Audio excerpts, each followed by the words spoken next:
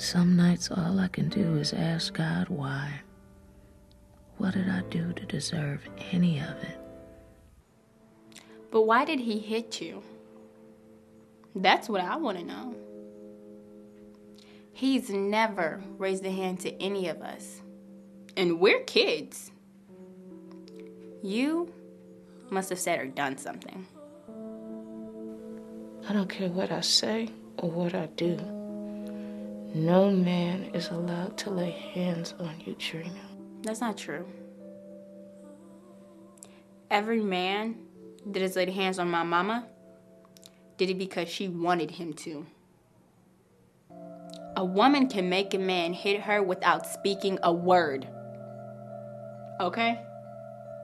For some children, you need a magic eraser to erase every bad memory, every violent event, every bad excuse.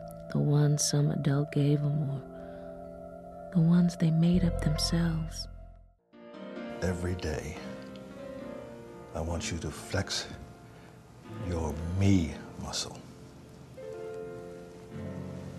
Every day, I want you to do something, think something, wonder about something, pray about something.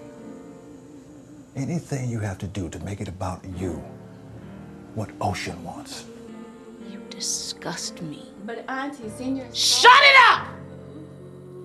You a kid and you should be a kid. Yeah, she got a woman body, but this is a kid.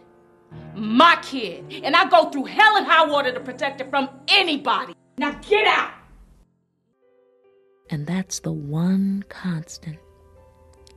Your kids always need you and always love you no matter how low or how unlovable you may feel.